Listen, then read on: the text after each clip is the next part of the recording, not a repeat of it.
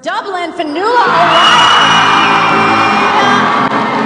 25 years old Dubliner, Fionnghuala O'Reilly was crowned Miss Universe Ireland 2019 at a star-studded event in Dublin city centre. Fionnghuala O'Reilly, Miss Universe Dublin!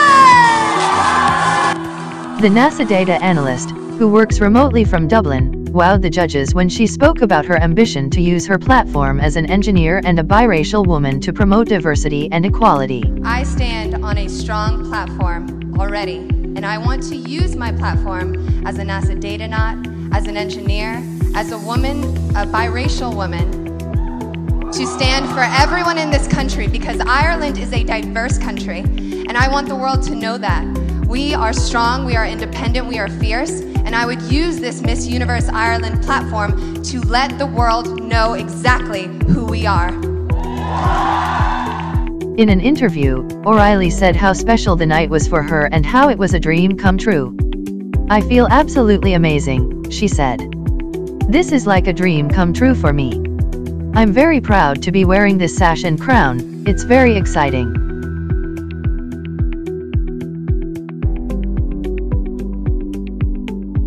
She explained that she did a lot of fundraising and charity work to prepare for the night. This has been months and months in the making and tonight is really so special because I've been working on it for a very long time, so it's absolutely fabulous to see how everything turned out.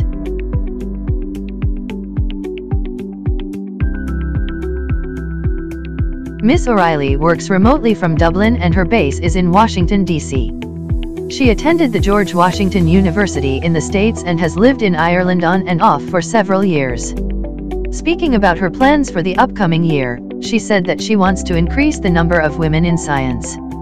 I really hope to do a lot of work for my cause, which is women is tech and women in STEM, and really empowering women to excel to the tops of their industry in general. All industries deserve to have women in the top.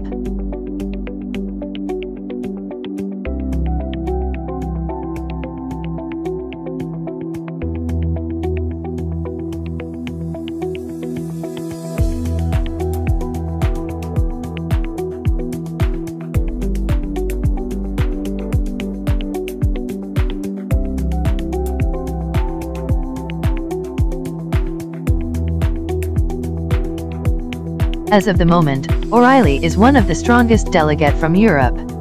Ireland, you have a fierce queen this year. Congratulations. Thank you for watching. Don't forget to share this video.